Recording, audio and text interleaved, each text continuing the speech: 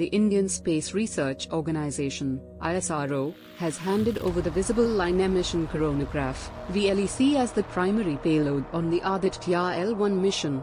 Launched using the Polar Satellite Launch Vehicle (PSLV), the mission will include seven instruments, including the Visible Line Emission Coronagraph (VLEC), Solar Ultraviolet Imaging Telescope (SUIT), Solar Low Energy X-ray Spectrometer (SOLEX), Aditya Solar Wind Particle Experiment, ASPEX, High Energy L1 Orbiting X-ray Spectrometer, HEL1OS, Plasma Analyzer Package for Aditya, PAPA, and Advanced Triaxial High Resolution Digital Magnetometers.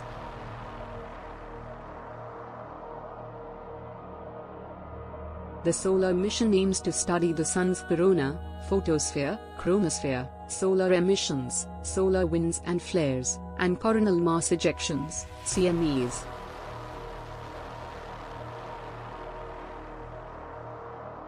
The mission will be launched to the L1 orbit, which is about 1.5 million km from Earth. L1 is Lagrangian/Lagrange point 1, one of five points in the Earth-Sun system's orbital plane. Lagrange points in space enable enhanced attraction and repulsion regions, reducing fuel consumption for spacecraft. Satellites in halo orbit around L1 can continuously view the Sun without occultation or eclipses. SOHO is an international collaboration project between NASA and ESA.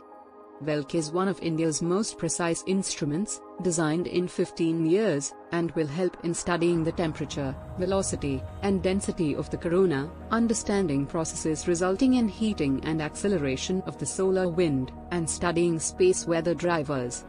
It will also measure the magnetic field of the corona and study the development and origin of coronal mass ejection.